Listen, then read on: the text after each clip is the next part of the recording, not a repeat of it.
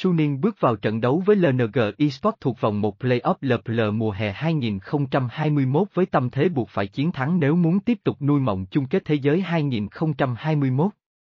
Tuy nhiên, đội tuyển này lại không hề có được sự tập trung cần thiết khi đối đầu với đội tuyển mà họ đã toàn thắng cả năm lần chạm trán trước đó. Sinh năm đã để mất quá nhiều điều kiện thắng khi liên tục mắc sai lầm và để LNG vươn lên dẫn trước 2, không. Dẫu vậy, sinh năm vẫn tiếp tục níu kéo hy vọng khi trở lại cực kỳ mạnh mẽ trong hai ván đấu tiếp theo để gỡ hòa 2, 2. Sunin để bị dẫn không 2 rồi lại gỡ hòa 2, 2. Thậm chí, bước sang ván thứ ba, sinh năm còn khiến người hâm mộ sớm mơ mộng về một màn lội ngược dòng ngoạn mục, khi liên tục giành được lợi thế đầu game trước LNG. Thế nhưng, ba sai lầm liên tiếp của Angel và Shop đã khiến mọi nỗ lực của sinh năm tan biến hoàn toàn, khi LNG sớm lật ngược thế cờ và trở thành đội vương lên dẫn trước. Trong một ván đấu mà sinh năm hoàn toàn không có bất kỳ nỗ lực tranh chấp rồng hiệu quả nào, thì kết quả gần như đã được định đoạt khi LNG có được linh hồn rồng lửa, cộng thêm đội hình giao tranh cực kỳ mạnh với Giác, Sinh Giao, Lulu, Varus và Bram. Kết quả chung cuộc, LNG lần đầu tiên đánh bại được Sunin sau chuỗi 5 trận toàn thua trước đó, chính thức loại đối thủ khỏi vòng playoff LPL mùa hè 2021 để lọt vào vòng 2 đối đầu với Top Esports.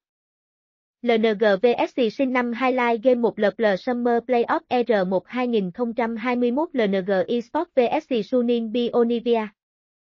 LNG VSC sinh năm Highlight Game 2 LPL Summer Playoff R1 2021 LNG Esports VSC Sunin Bionivia. LNG VSC sinh năm Highlight Game 3 LPL Summer Playoff R1 2021 LNG Esports VSC Sunin Bionivia.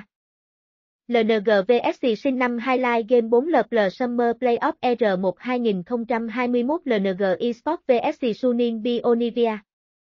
LNG VSC sinh năm Highlight Game 5 LPL Summer Playoff R1 2021 LNG Esports VSC Sunin Bionivia.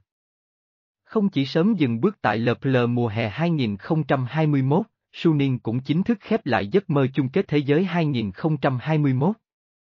Với việc không có thêm bất kỳ điểm tích lũy nào tại giải mùa hè, sinh năm chỉ sở hữu 20 Championship Point và xếp thứ 6 trong bảng điểm này, vị trí tối thiểu để có thể dự vòng loại khu vực. Và sinh năm chỉ có thể giữ được vị trí này trong trường hợp cả OMG, LNG Esports, Team Uy và Billy Gaming đều giành được ít hơn 40 điểm tích lũy. Đây là điều không thể xảy ra, vì Team Uy, OMG và Billy Gaming đều nằm chung một nhánh đấu, và sẽ có ít nhất một trong ba đội tuyển này lọt được vào vòng 3 playoff, nghĩa là có thêm 40 championship point. Một trong ba đội Uy, OMG và BLG sẽ nhận được 40 championship point, lọt vào vòng 3 playoff, có nghĩa là việc Sunin bị đẩy ra khỏi top 6 điểm tích lũy chỉ còn là vấn đề thời gian. Ảnh, Internet